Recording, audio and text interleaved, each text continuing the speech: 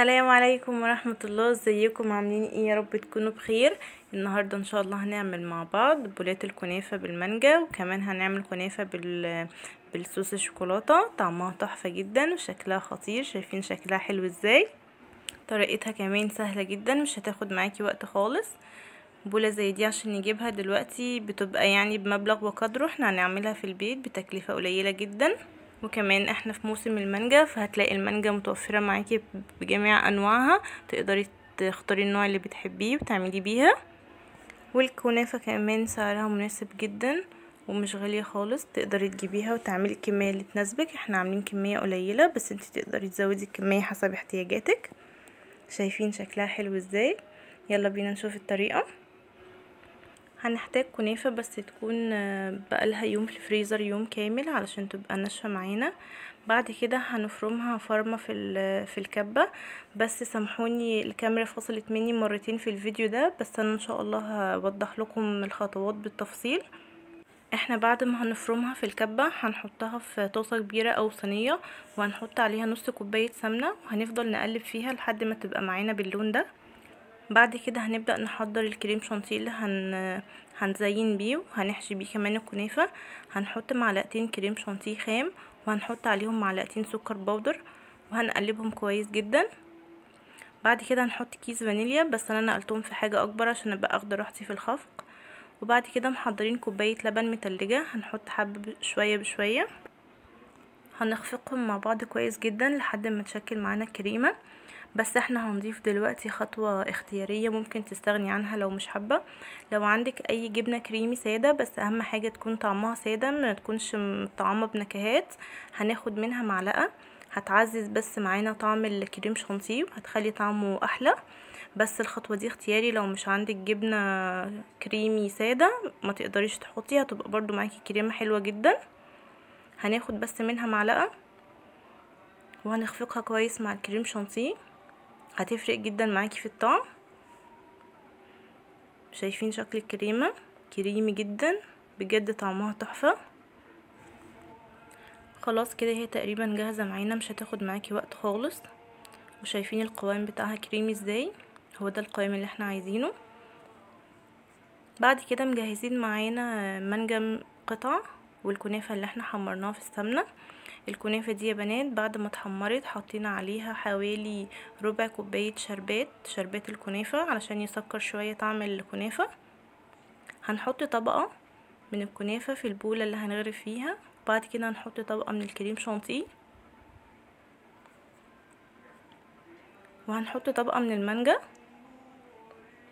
شايفين طريقتها سهلة إزاي؟ ومخدتش معانا وقت خالص تقدري تعمليها مش هتكلفك أي حاجة. بالعكس دي طعمها أحلى كمان من الجاهزة. وبعد كده هنحط طبقة من الكنافة.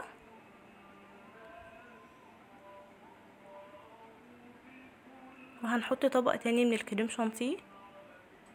هنساوي بس الكنافة الأول وبعد كده هنحط الطبقة التانية. لو مش عندك السرنجة بتاعة الحلويات دي وبتاعة الكريم شانتيه ممكن تحطي بقمع الحلويات ولو مش عندك القمع ممكن تحطي الكريم شانتيه في كيس تخزين بتاع الخضار وتخرميه من تحت وتبدأي تشكلي بيه. هيبقى معاكي بنفس النتيجة. دي آخر طبقة من الكريم شانتيه. هنحط طبقة من المانجا كمان. بس هنساوي وش الكريم شانتيه الأول. تقدري ما تسويهوش برضو عادي. شايفين الطريقة سهلة إزاي جربوها بجد هتعجبكم جدا إن شاء الله. الولاد كمان بيفرحوا جدا بالحاجات دي. يا ريت تقولوا لي رأيكم في الفيديو لو في أي حاجة فاتتكم مش فاهمينها أو لو الفيديو وصل لكم وفهمتوا كل خطواته وتفاصيله. لأن في كمان جزء في الفيديو برضو الكاميرا فصلت فيه. شايفين كده أول بوله جاهزة معانا شايفين شكلها حلو إزاي والطبقات فيها باينة جدا. وبجد طعمها تحفة. هنبدأ نجهز البولة التانية. إحنا معانا علبة دانة شوكولاتة ومعلقتين شوكولاتة نوتيلا. ممكن تستغني عنهم لو مش موجودين عندك ونستخدم صوص الشوكولاتة اللي بنستخدمه للكيكة اللي هو بيبقى باللبن والكاكاو الخام. هيديكي برضو نفس النتيجه بس دي يعني طريقة أسرع. هنجيب البولة وهنبدأ نرص أول طبقة من الكنافة. هنحط كمان طبقة من الكريم شانتيه وطبقة من الشوكولاتة. انتي كمان ممكن تعمليها بنفس الطريقة ممكن تعمليها في صينية صغيرة مش شرط تعمليها في بولات. بعد كده هنحط طبق كمان من الكنافة وهنحط عليها طبقة من الكريم شانتيه. والجزء بقى اللي فصل مني والكاميرا بتصور هو بعد ما حطينا طبقة الكريم شانتيه حطينا كام قطعة مانجا على طروف البولة من فوق. وبعد كده الصوص اللي اتبقى من الشوكولاتة حطيناه في كيس تخزين وخرمناه خرم صغير من تحت. وبعد كده بدأنا نرش صوص الشوكولاتة على الكريم شانتيه وعلى المانجا. هيدينا الشكل اللي هنشوفه دلوقتي. شايفين شكله حلو إزاي سامحوني على على الفاصل اللي اتقطع من الفيديو.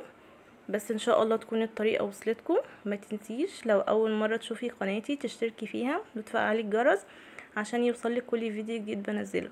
ولو الطريقة عجبتك يا ريت ما تبخليش عليا بال like علشان ال like بيفرق معايا جدا. عن طريق ال like بعرف إن الفيديو عجبكم ولا لأ ف like كبير بقى للفيديو. أشوفكم على خير يا رب إن شاء الله في الفيديو اللي جاي. مع السلامة.